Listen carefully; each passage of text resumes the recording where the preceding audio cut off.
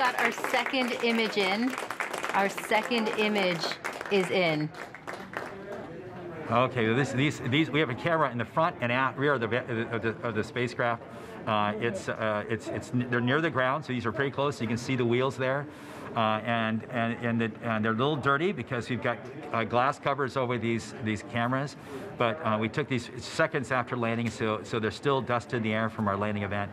Uh, so this is, this is happening, um, you know, this happened just seconds ago, just arrived. And this is really amazing.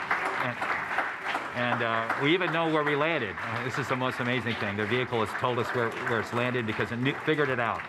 You know, this is a sign. NASA works. NASA works. And when we put our arms together uh, and our hands together and our brains together, we can succeed. This is what NASA does. This is what we can do as a country on all of the problems we, we have. We need to work together to do these kinds of things and make success happen.